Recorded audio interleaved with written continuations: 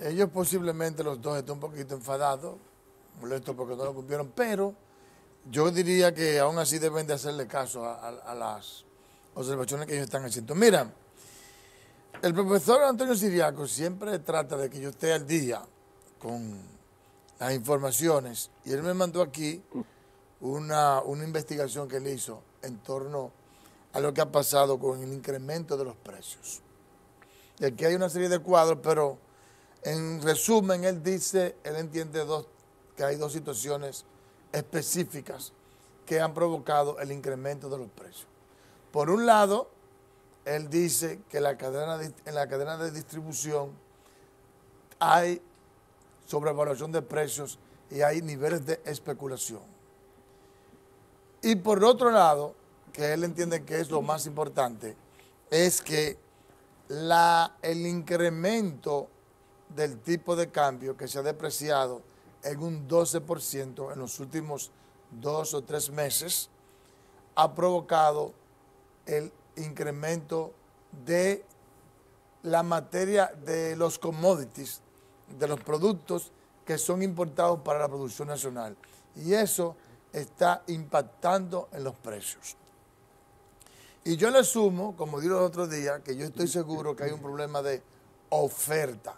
Fíjate cómo dijo Belkis, que o están caros o están escasos.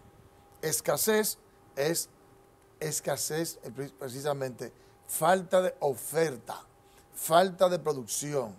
¿Qué pasa? Que cuando hay escasez, ahí es que se pone de manifiesto la especulación y el agiotismo.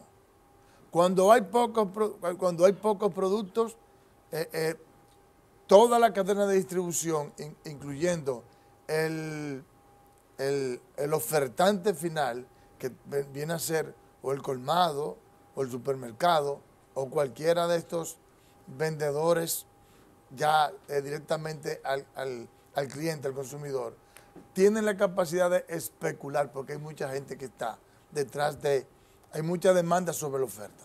Entonces, yo creo que, reitero, parece que sí es necesario que las autoridades le pongan un poco, le pongan un poco de atención al tema de la cadena de distribución. Pero definitivamente, definitivamente, definitivamente, en lo primero que tiene que trabajar,